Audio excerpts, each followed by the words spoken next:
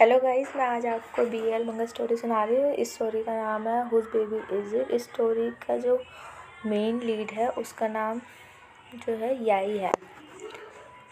याई है और स्टार्टिंग में दिखाया जाता है कि याई को लोग कह रहे थे कि अब तुम कहाँ भाग के जाओगे? तो उसके पास उसके डायरेक्टर का कॉल आता है। तो डायरेक्टर कहते हैं कि यही तुम कहाँ हो? तो यही कहते हैं कि सर डायरेक्टर आप मेरे पे विश्वास नहीं करेंगे मैं किडनैप हो गया हूँ। तो स्टार्ट फिर चालीस मिनट पहले दिखाते हैं कि यही जब अपने डायरेक्टर से कहते प्लीज़ डायरेक्टर मुझे जाने दो, मैं पक्का दो घंटे में वापस आ जाऊँगा। तो डायरेक्टर मानता नहीं है, पर बहुत देर तक डायरेक्टर सोचने का कहता है, ठीक है।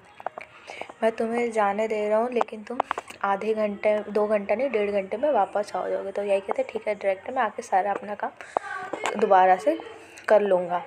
तो डायरेक्टर आके अपना सारा काम मैं कवर कर लूँगा रिक्रिएट कर लूँगा। तो यही खुशी से, फटाफट से लॉकर रूम के पास जाता है और अपने कपड़े चेंज वोंज करके अच्छे से रेडी होकर बाहर जा रहा होता है तो वो वहाँ पे एक मिस्टर यंग मिस्टर यंग होती हैं।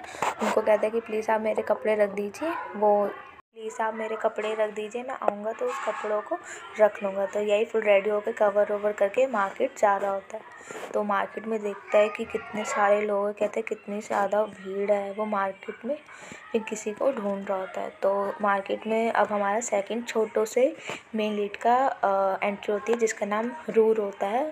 फिर याई जो है वो रूर को कहता है याई इस तरफ़ तो जो याई है, वो रूर को बुलाता है और रूर याई को आवाज़ देता है। तो दोनों भाग कर आते हैं और एक दूसरे को गले लगते हैं। गले लगते हैं, दोनों साथ में जा रहे होते हैं। तो याई ज़रूर जो है, वो याई को कहते हैं, याई, मुझे आइसक्रीम खानी है, मुझे दिला दो। तो याई उसे आइसक्रीम दिलाता है वो दोनों साथ में जा रहे होते हैं। तो यही कहते हैं कि, रास्ते पे ध्यान दो हमें रोड पार करना है। अभी हमें हमें घर जल्दी जाना है तो हम, हमें रोड पार करेंगे तो रोड पर ध्यान दो। वो कहते हैं, ओके।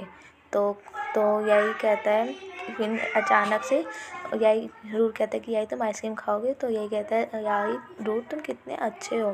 तो जैसे आइसक्रीम खा रहा होता है, वैसे कुछ लोग आके यही और रूट को घेर लेते हैं। तो यही कहता है कि ये मेरे फैंस हैं तो तो वो सोचने लगता है तो सारे जो बॉडी गार्ड्स है वो कहते हैं, आप हमारे साथ चलिए। तो यही कहता है कि मैं तो अच्छा लड़का हूँ, उसको लगता है मेरा किडनैप हो रहा है, फिर वो कहता है, मैं बहुत अच्छा हूँ, आप मेरे बारे में पता कर लीजिए, आप मेरे फैमिली वाले से पूछ लें मैंने आपके बारे में कभी कुछ बुरा नहीं बोला। मैं बहुत अच्छा हूँ, आपको विश्वास ना हो तो विश्वास कर लीजिए। हाँ तो याई के पास अचानक से किसी का फ़ोन आता है तो उसका जो डायरेक्टर का होता है तो याई कहता है, प्लीज़ मुझे फ़ोन उठाने दीजिए। तो डायरेक्टर को फ़ोन उठाता है तो डायरेक्टर कहता है याई तुम कहाँ पे हो? तो याई कहता है कि आप मेरे पे विश्वास नहीं करेंगे, मेरा किडनैप हो गया। ये वही चीज़ है जो हमने स्टार्टिंग में लाइन सुनी थी। फिर जो गार्ड्स है वो उसका फ़ोन लेकर फेंक देते हैं। फिर उन दोनों को गाड़ी से ले बैठा कर उन्हें के बाहर, उन दोनों को घर के अंदर पुश करके भेज दिया जाता है। वो दोनों पूरे घर को देखते हैं। फिर उस घर में उनका बॉस एक अलग से रूम में बैठा रहता है और फिर जब वो दोनों अंदर आते हैं घर के अंदर घुसते हैं याई और रूट तो दोनों घर को देख रहे होते हैं, अच्छे तरीके से। इन घर को देखने के, वो बैठे रहते हैं तो जो रूर है, वो याई को कह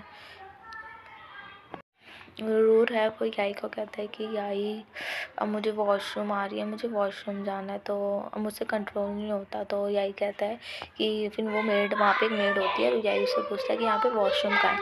तो जो मेड उससे बताती है, फिर जो मेड कहती है कि, सर, उस तरफ़ फिर वो दोनों जाते हैं।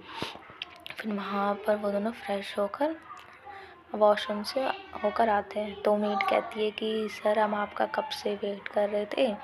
हाँ तो यही कहती है ये क्या मेरी फ़ैन है? ये मेरे को जानते हैं ये लोग? हाँ तो वो मेड कहती है, प्लीज़ सर, आप चलिए, अंदर बैठ जाइए। अभी हमारे बॉस थोड़ी देर में आते ही होंगे। तो फिर वो लोग जाते हैं और बैठ जाते हैं। तो जैसे ही वहाँ का बॉस आता है, वो कहता है कि, ये जो बेबी है वो जो तुमने अपने हाथ गोदी में ले रखा है, वो मेरा बायोलॉजिकल सन है। ये मेरा बायोलॉजिकल सन है।